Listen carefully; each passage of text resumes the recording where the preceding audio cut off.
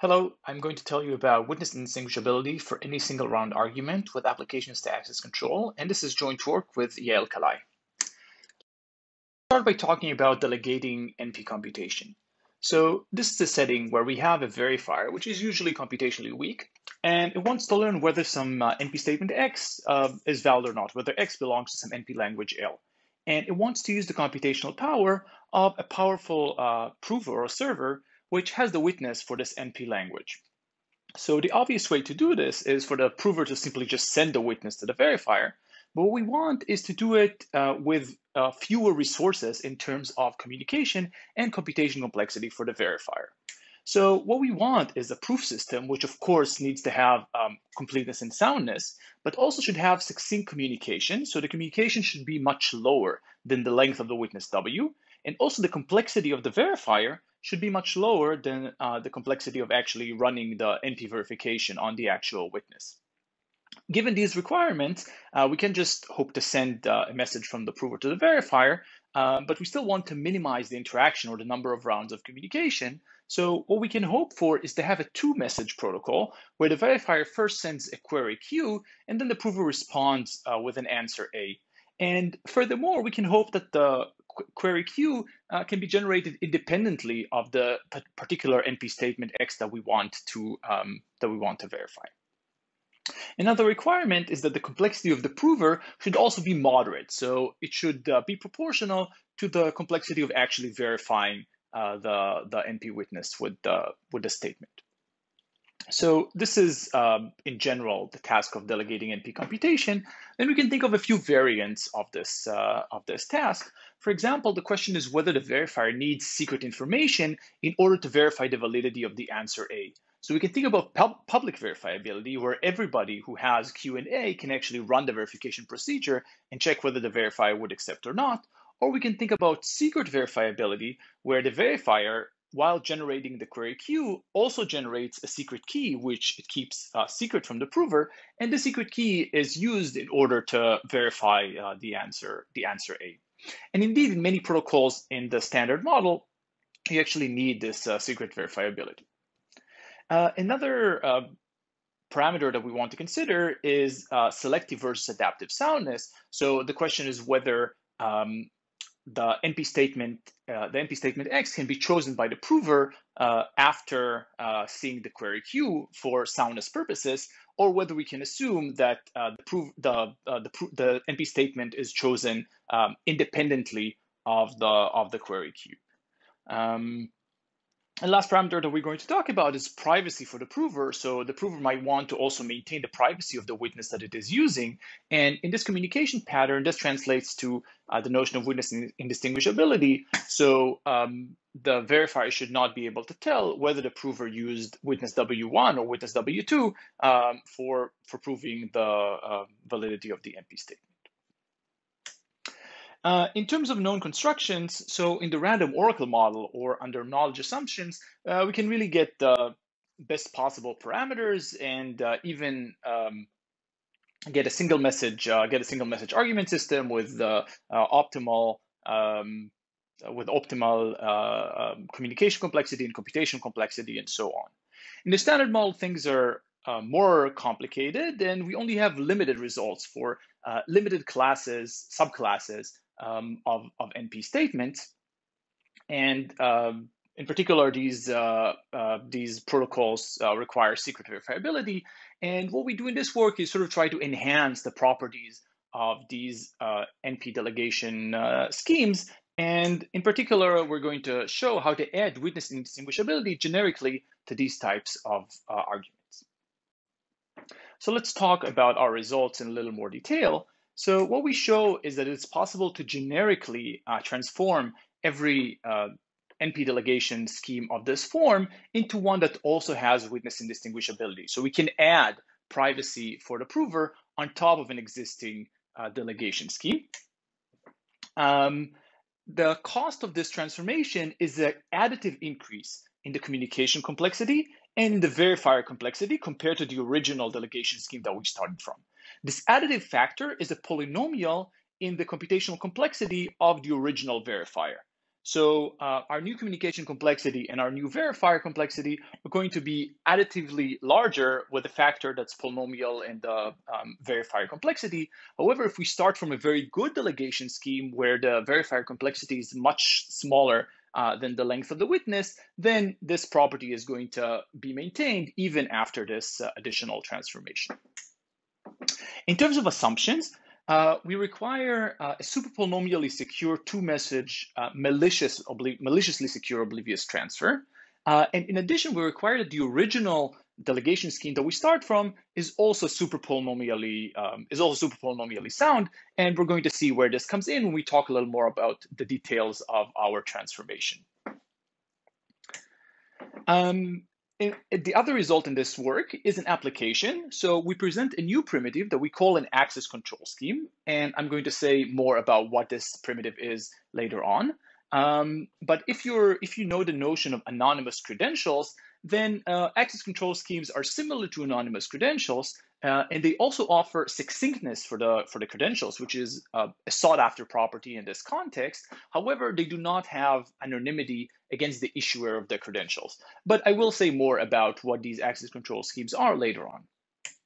Um, in order to construct these access control schemes, we have our witness indistinguishability transformation, but we want to apply it on top of one of those uh, NP delegation schemes in the standard model uh, that we uh, that I mentioned in the previous in the previous slide. And for this purpose, we also need superpolynomially secure single server private information retrieval scheme because this would allow us to instantiate uh, those um, uh, NP delegation schemes for uh, limited uh, limited classes of NP statements, and this would give us uh, the the access control scheme that we need. So concretely, if you sort of take all of these required building blocks and and sort of uh, go down to the concrete assumptions that are needed, then uh, our results can be instantiated based on the existence uh, based on the hardness, uh, the superpolynomial hardness of assumptions such as learning with errors, um, decisional Diffie-Hellman, decisional composite residuosity, or quadratic residuosity. So these are the results, and what I'm going to do is start by talking about our generic witness indistinguishability transformation. So what we want is to start from a delegation scheme and add witness indistinguishability on top of it. So in the uh, original delegation scheme, it is possible that some information about the witness leaks to the verifier through the response A that the prover needs to compute. And we want to prevent that. And the basic idea is rather than sending A in the clear, what we're going to do is send a commitment to A and a proof that the committed value is uh, sort of proper, is really a value that satisfies uh, the, the verification, the verification procedure. And of course, this proof needs to be a witness indistinguishability proof. What do we mean by, by this? Now, the witness indistinguishability proof only um, needs to apply to a statement that has a short witness because it's it's a statement about the value inside the commitment and not a statement about the original uh, the original NP statement. And therefore, uh, even if we start with a witness indistinguishability proof that is not succinct, uh, the eventual communication complexity is going to be succinct. So let's do this in a little more detail. So instead of sending A, we're going to send a commitment to A using some randomness rho and an additional proof. And what is this proof? So this is a witness indistinguishability proof that um, C is indeed a valid commitment uh, to a value A, and this value A satisfies uh, the verifier's uh, uh, predicate um, with the with the given query with the given query Q. So we want a witness indistinguishable witness indistinguishable proof of this statement. And this is, of course, a very simple and straightforward idea, and it indeed can be made uh, can be made to work. All we have to do is sort of take care of the subtleties that arise. We actually try to uh, try to apply this uh, uh this this outline, this blueprint. Um, so in terms of soundness, right, in order to be able to prove soundness, what we need is to show that if we have a prover that succeeds in this uh, new uh, transformed protocol, then we also have a prover that succeeds in the original protocol. And the way to do it is to try to sort of take the commitment and pull out the value A, and this is the value A that will allow a prover to succeed in the original protocol. So what we need is to be able to extract the value A out of the out of the commitment. However, uh, we don't have additional rounds in order to perform extractability. Um, so we're going to use complexity leveraging. In particular, we're going to use a commitment scheme which is sort of fairly weak. It's super polynomially hard to break, but it can be broken uh, with some uh, superpolynomial com uh, computational complexity. And we're going to sort of use brute force in order to break the commitment and extract the value A and use it uh, for the purposes of the reduction. And this is the reason why we actually need superpolynomial soundness uh, for the original delegation protocol and for the witness indistinguishable proof, because these need to remain sound even in a setting where we can brute force open the commitment. So this is where the superpolynomial assumptions come from. So this is in terms of soundness. Other complications that we need to resolve is, first of all, as I said, in many cases, in particular in the cases that we want to use for our application, the protocol is only secretly verifiable. This means that um, the verifier has some secret key that it uses in order to check the check whether the um, response A uh, is valid or not. And if the prover wants to come up with a proof uh, that the verifier would indeed accept, then they cannot do it because they don't have the secret key and they must not have the secret key, otherwise soundness is broken. So we need to handle this difficulty. The additional difficulty that we need to handle is that if we just use standard witness indistinguishability, uh, witness indistinguishable proof here, um, then we're going to run into trouble because if you look at the statement that we're that we are that we're proving here, it really only has one witness. The value A, since the, our commitment needs to be uh, statistically or perfectly binding for the purposes of brute force extraction, um, it must be the case that there's only a single witness uh, that uh, um, that that the prover actually uses for the for the setting of this uh, witness indistinguishable proof, and therefore witness indistinguishability is actually meaningless. So we'll need to figure out what to do in order to get a meaningful notion of witness indistinguishability even in this setting. Let's start with handling secret verifiability. So now the verifier also has a secret key that it uses in order to uh, in order to verify the um, in order to verify uh, the the response A. And the idea is to use fully homomorphic encryption. So um, I want to sort of allow the prover to prove a statement that relates to the secret key, but don't want to give him the secret key in the clear. So what I'm going to do is send a secret, send a homomorphic encryption uh, of this uh, secret verifiability key uh, to the prover. So I'm going to send the query and the public key for the homomorphic encryption scheme, and some C0, which is an encryption of the um, of this uh, verifier verifier key. Now the prover can evaluate under the encryption uh, the, the verifier's predicate, um, and it can obtain the an encryption of what the verifier would have output uh, given the value A that the that the prover that the prover generates.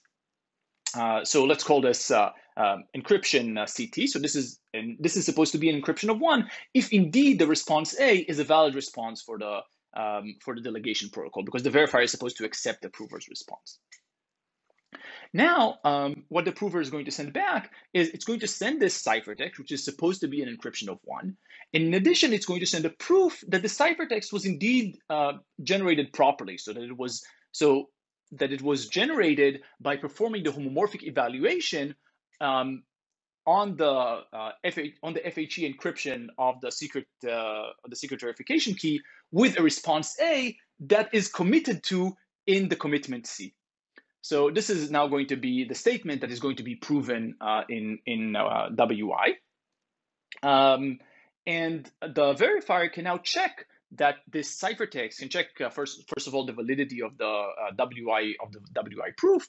In addition, it can check that indeed the ciphertext CT decrypts to one, which sort of guarantees that uh, the ciphertext CT is indeed a homomorphic evaluation of some response that is committed to, and uh, this uh, this response actually leads to uh, would have led to the verifier actually accepting. Um, and this is sort of our strategy to deal with the secret verifiability issue. But we notice that what we need is a homomorphic encryption with a circuit privacy property because we wouldn't want information about W or about A to leak from the ciphertext CT. So we need the circuit privacy property, which means that the output ciphertext does not leak information about the computation that was being performed. And furthermore, we need malicious circuit privacy because the parameters of the homomorphic encryption are actually generated by the verifier, which we want to protect against. Indeed, we can get malicious circuit private uh, fully homomorphic encryption under fairly mild variants of the learning with errors problem. So this is one way to resolve this issue, uh, but we can observe that actually we need less than fully homomorphic encryption for this task. In fact, the compactness property of the fully homomorphic encryption may not be necessary in this setting. Compactness means that, uh, in our case, that the length of the ciphertext CT is independent of the um, size of the circuit for which we did homomorphic evaluation. But in our case, the homomorphic evaluation is of the original verifier. So this com the complexity of the original verifier is um, actually bounded and it actually uh, it's actually possible that other parameters in the uh, in the scheme also um, are also at least as large as this uh, as this complexity. So even if we don't uh, even if we don't have um, compactness for our fully homomorphic encryption scheme, we get the same guarantee about the length of the of the prover's uh, of the prover's response in the worst case. So uh, we can actually rely on a variant on something similar to fully homomorphic encryption without uh, compactness, but with malicious circuit privacy. And this can be constructed using garbled circuits and maliciously secure uh, oblivious transfer. And this we can do under um, additional assumptions. So uh, in addition to learning with errors, we can also do it under DDH, uh, decisional composite residuosity and quadratic residuosity. So this finishes the um, part about the secret verifiability. Now let's talk about the witness indistinguishable proof system that we need. So um, first of all, let's notice that we want the witness indistinguishable proof to have adaptive soundness. Remember that we talked about adaptive soundness. And I should emphasize that the original delegation scheme that we start from does not need to be adaptively sound. And furthermore, the delegation scheme that we end up with, the one that has witness indistinguishability, uh, is also not going to be adaptively sound. And nevertheless, we need uh, to require that the witness indistinguishable uh, proof system that we use inside our construction does have adaptive soundness. And the reason is that the statement that is proven using this WI proof system is only determined after uh, the uh, prover has seen the first message, uh, the first message of the verifier. So in fact, the statement is chosen um, sort of adaptively after the parameters for the witness indistinguishable proof uh, have been uh, have been selected, and therefore we need adaptive we need adaptive soundness. Um, so this is one requirement that, that we need. The, the other requirement is with respect to the um, variant of uh, witness indistinguishability uh, that is required, and this is what uh, I mentioned uh, um, when, when we talked about the obstacles. So um, just plain witness indistinguishability is not going to be good enough. What we need is this notion of strong witness indistinguishability, which talks, which talks about witness indistinguishability between distributions of instances and witnesses. So in strong witness indistinguishability, we consider two different distributions of pairs of instance witness. And what we say is that if the distributions of the instances are computationally indistinguishable, then it should also hold that if we generate proofs with respect to these uh, with respect to these instances, then the proofs themselves are also going to be indistinguishable. So you don't just hide um, which witness you use for a specific instance, you also hide which instance you're using um, when, when the instances come from, uh, from two uh, computationally indistinguishable distributions. And indeed, it's going to be the case that in, in our setting, if the prover starts from two different witnesses for the original NP statement, W1 and W2, this is going to translate to two different distributions on instances, which are computationally uh, which are computationally indistinguishable. And um, therefore, this notion of strong uh, witness indistinguishability is actually going to provide the, the type of uh, witness indistinguishability that we need in order to argue that the final um, uh, the final uh, witness indistinguishable delegation scheme that we have does have sort of the standard notion of witness indistinguishability with respect to witnesses for the original NP statement.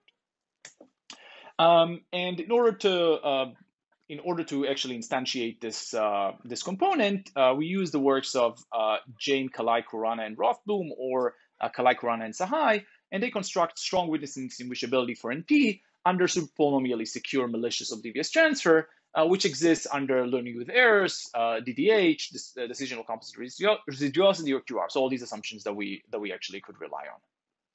Um, so this concludes our witness indistinguishability transformation, and let me briefly talk about our access control scheme. So let's see what is access control. So we consider a space of attributes. So it could be a very large space. Uh, let's just we're just going to number the attributes with numbers between one and capital N.